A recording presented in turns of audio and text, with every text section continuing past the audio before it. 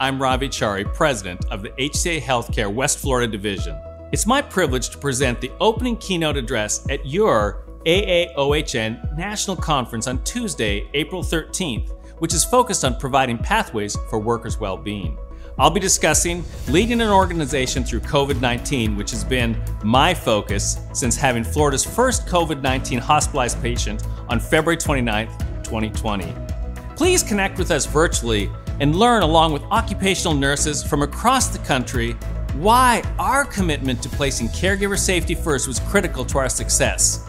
Thank you. And I look forward to sharing with you on April 13th our COVID 19 success story and the important role of influence and leadership.